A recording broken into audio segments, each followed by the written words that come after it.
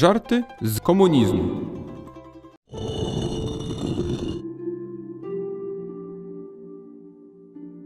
Pewien milicjant wrócił wcześniej do domu po pracy. Niestety, nakrył on swoją żonę w podejrzanej sytuacji. Kochanie, czemu ty jesteś nago?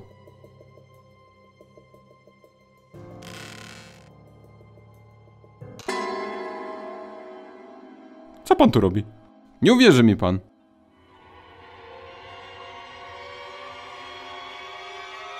Na pociąg czekam.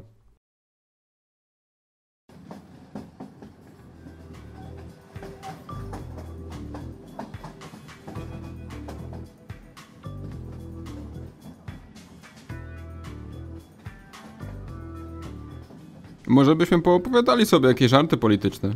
Opowiadajcie państwo, ale muszę tylko z góry powiedzieć, że jestem milicjantem. A to nic nie szkodzi, to będę mówił powoli i powtórzę dwa razy.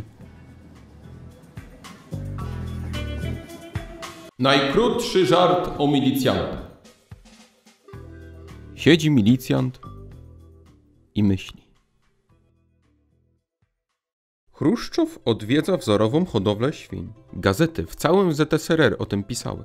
Nazajutrz jedna z gazet na pierwszej stronie umieściła zdjęcie z podpisem Towarzysz Chruszczow ze świniami.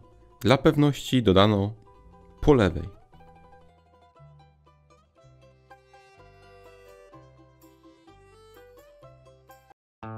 Co by było, gdyby Breżniewa zeżarł smok? Przez dwa miesiące smok by srał orderami. Jasio, syn wysokiej rangi sekretarza partyjnego, wybrał się z mamą do zoo. Stanął na chwilę koło wybiegu dla małp i... Jezus Maria, małpy się pie... Mama przerażona natychmiast zabrała syna do domu i opowiedziała ojcu o całym zajściu. Ja jestem tak wysoko postawiony w partyjnej hierarchii, a ty przy ludziach krzyczysz Jezus Maria?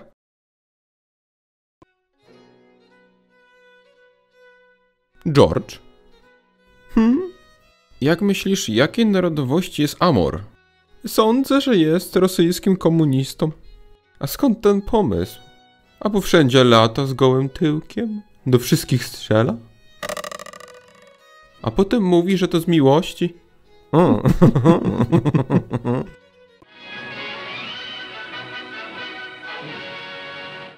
Na koniec ciekawostka prosto z Głównego Urzędu Statystycznego. Jakie imiona są najbardziej popularne wśród noworodków? Przenosimy się do placówki Głównego Urzędu Statystycznego. Panie Krzysztofie, jakie jest najpopularniejsze imię nadawane dzieciom na 1976 rok? Jest to Adia. Dlaczego? Adibiesa, Adibasła, a prawdę musiał pan? Nawet śmieszne. Co to jest komunistyczna skleroza? To jest, gdy stoisz przed sklepem z pustymi siatkami i nie wiesz, czy przyszedłeś na zakupy, czy z nich wracasz.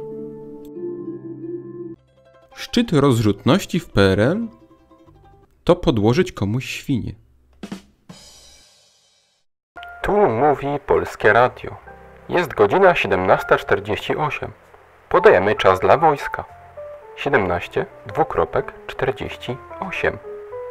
Podajemy czas dla milicji. Pałeczka, daszek, krzesełko, bałwanek. A. Leonidzie i Liczu, jakie macie hobby? Zbieram dowcipy o sobie. O, dużo ich już macie? O, będzie jakieś 2,5 łagra. To dużo. Do Polski przyjechał Breżniew i zostaje odprowadzony po zakładach mięsnych. Patrz Leonidzie, tu wkłada się świnie, a to wychodzi parówka.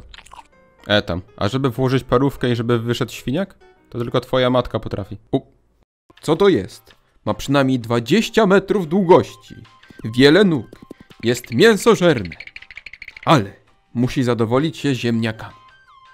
Jest to kolejka przed mięsnym. Czym ma pokrycie dolar? W złocie. A funt brytyjski? W platynie. A w czym ma pokrycie złoty polski? W cynie.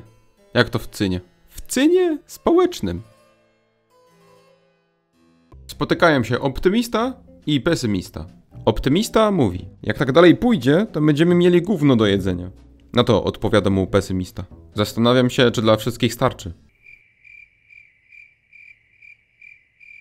Szczytem nietaktu w Polsce Ludowej było powiedzenie komuś Smacznego! Kurde. Śmieszek się wziął. E! Jakie, sma jakie smacznego! To sucha bułka! Niby z czym mam to zjeść?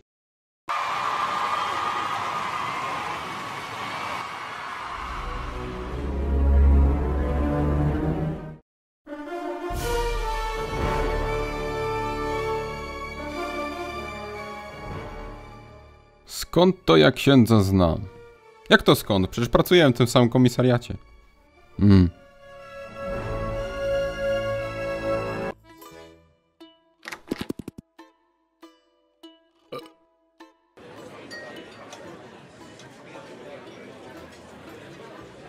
Kto zamawiał ruskie?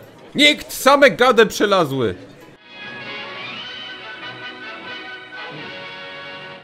Jesteśmy dzisiaj na wzorowym państwowym gospodarstwie rolnym.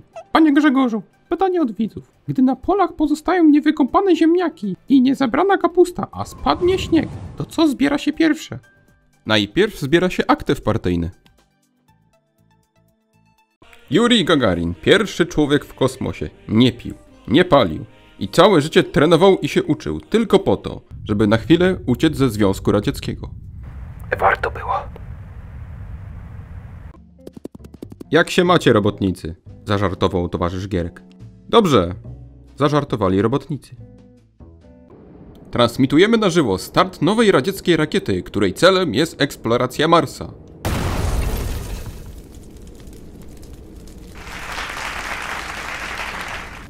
Lot trwał dłużej niż ostatnio. Dziękujemy za uwagę. Do księgarni wchodzi milicjant. Dzień dobry, chciałbym kupić książkę. Patrząc na pana, sądzę, żeby pan coś chciał z literatury lżejszej. A nie, mi tam wszystko jedno, przyjechałem radiowozem.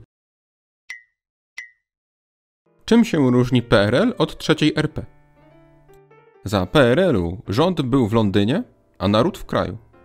A w trzeciej RP na odwrót. Robotnik przyjechał do swojego kuzyna, który jest rolnikiem indywidualnym. I się go pyta. Jak ci się żyje? Jak stonka. Siedzę cicho, nie wychylam się, żrę ziemniaki i czekam, aż mnie dopadną.